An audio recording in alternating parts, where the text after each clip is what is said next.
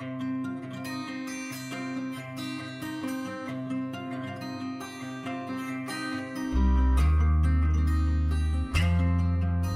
m'appelle Marie Motkulem, je suis consultante, coach, formatrice depuis une dizaine d'années et je me suis vraiment orientée sur la psychologie positive parce que moi ce que j'aime c'est d'aider les autres et les groupes à donner le meilleur d'eux-mêmes.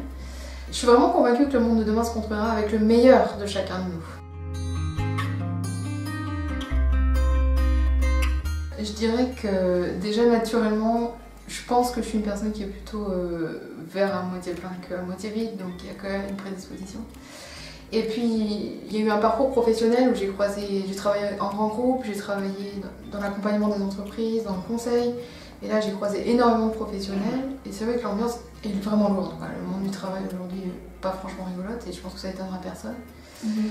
Et puis, donc j'avais fait ce constat jusqu'à ce que ça m'arrive à moi, que je sois vraiment à la limite de l'épuisement professionnel, que je sois vraiment à côté de mes, pompes. Donc du coup, ça a été un concours de circonstances parce que à la fois je l'ai vu, je l'ai observé en me disant mais mince, qu'est-ce qu'on peut faire? Et je l'ai vécu moi aussi à un moment donné. Donc j'ai changé de boulot. Et ce qui s'est passé, c'est que j'ai pris un MOOC en ligne euh, de l'université de Cleveland. Et là, j'ai découvert euh, les théories qui étaient développées là-bas avec David Coprider et Richard Boyatis. Et je me suis dit, mais c'est ça, c'est ça que je veux faire. Voilà. La psychologie positive, c'est vraiment la science du fonctionnement optimal des êtres humains. Le stress, c'est pas un fonctionnement optimal. ok? C'est une situation d'adaptation qui est utile, mais c'est pas le fonctionnement optimal des êtres humains. Donc forcément, j'ai envie de dire c'est QFD. Si la psychologie positive, c'est la science du fonctionnement optimal des personnes, par définition, c'est une science qui nous aide à lutter contre le stress.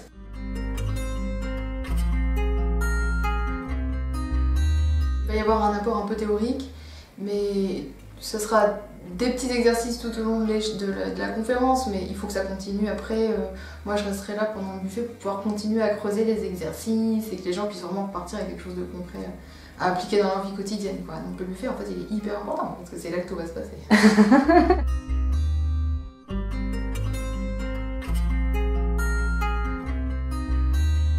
vous venez de découvrir Marie, on en saura un petit peu plus le 28 septembre euh, pour une conférence interactive, un workshop très intéressant. On a invité Marie puisque Marie fait au niveau individuel ce qu'on essaie de faire avec le Tout va bien au niveau collectif.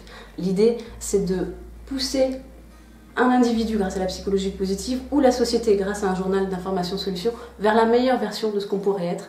Donc on vous invite le 28 septembre à 19h au Caravansérail Café pour une conférence, un buffet, des échanges et plein de solutions pour réinventer demain.